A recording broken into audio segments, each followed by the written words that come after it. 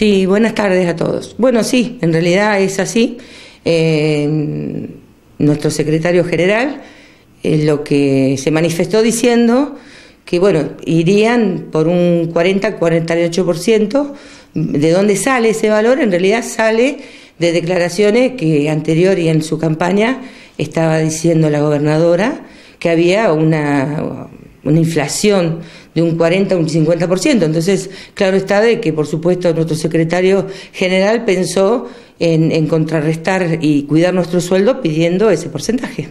O sea, se van a basar en lo que desde Cambiemos se manifestaba en la, mm, campaña sobre el índice inflacionario que ellos manejaban. Sí, por supuesto, y yo creo que lo, es, es, es real eh, y es justamente lo que se debe hacer.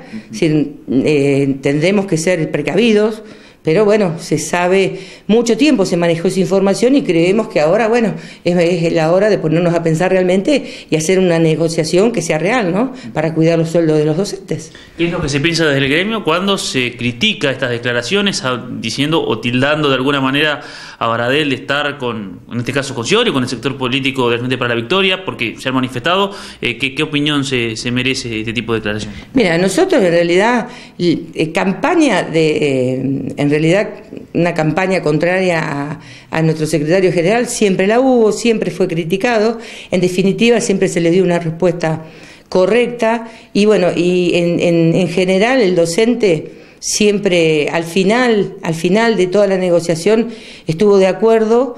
el año pasado, por ejemplo, nosotros tuvimos en total un 39,5% de aumento, es decir, distribuido en distintas etapas, pero bueno, yo me preguntaría o preguntaría cuántos sindicatos realmente tuvieron ese porcentaje. Es más, las paritarias estuvieron todo el año abiertas, hoy todavía estamos discutiendo y estamos buscando un poco la vuelta a gente que como los EMAP, como los bibliotecarios, como preceptores que trabajan más cantidad de horas y en este momento se le está pagando menos entonces estamos buscando una, haciendo una negociación para que esa gente se lo al nivel que corresponde. Es decir, no, no es que el resto del año no se hizo nada. Es más, voy un poquito más allá de esto.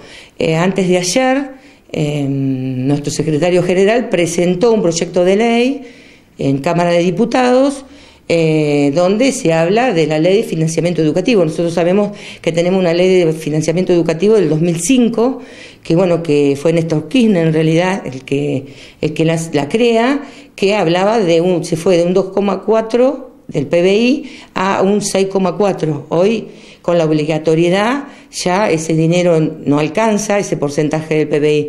Así que lo que se está pidiendo es un 8, unos 8 puntos del PBI para eh, lo que es la educación desde jardín hasta secundaria y un dos, eh, dos puntos para la educación eh, superior. Mónica, bueno, se viene el cambio de, gobierno, ¿qué balance en general se puede hacer de lo que ha sido la relación del actual gobierno provincial con los gremios docentes? Mira, yo creo que el, el actual gobierno provincial encontró un país que, realmente una provincia que estaba devastada. Creo que hoy estamos mejor que los que estábamos antes.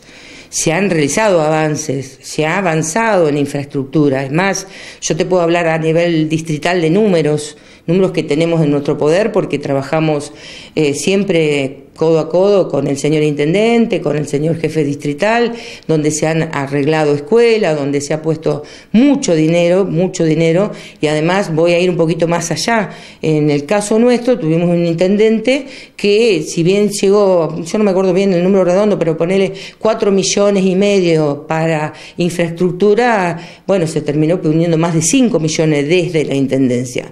Así que nosotros hacemos un balance positivo.